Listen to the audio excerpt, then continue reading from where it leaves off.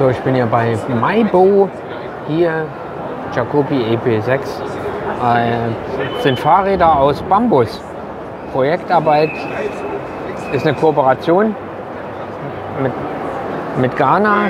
Sind individuelle Bikes hier, beziehungsweise hier aus nachhaltigen Produkt. Also dieser Fahrradraum ist aus Bambus, nachhaltiges Produkt.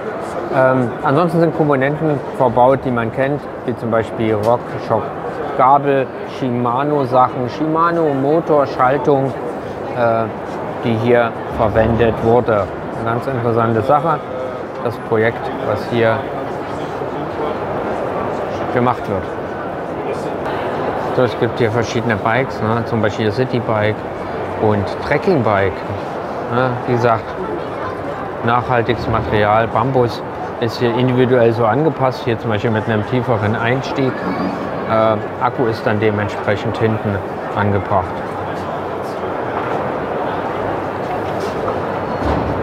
Schon hier beim Trekkingrad.